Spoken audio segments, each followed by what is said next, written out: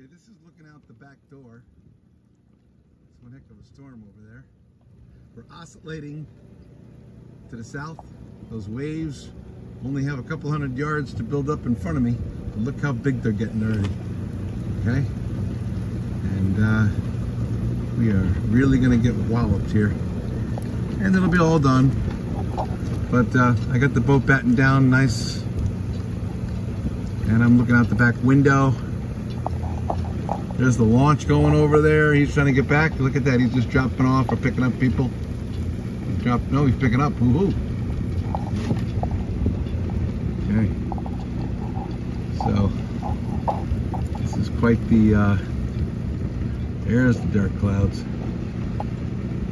There's a boat oscillating like crazy. These mooring balls are drilled into the seabed 12 feet.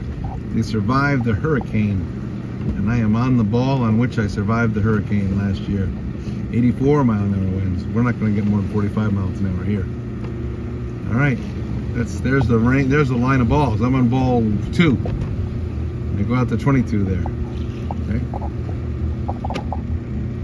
There's all the balls. Okay. Very nice.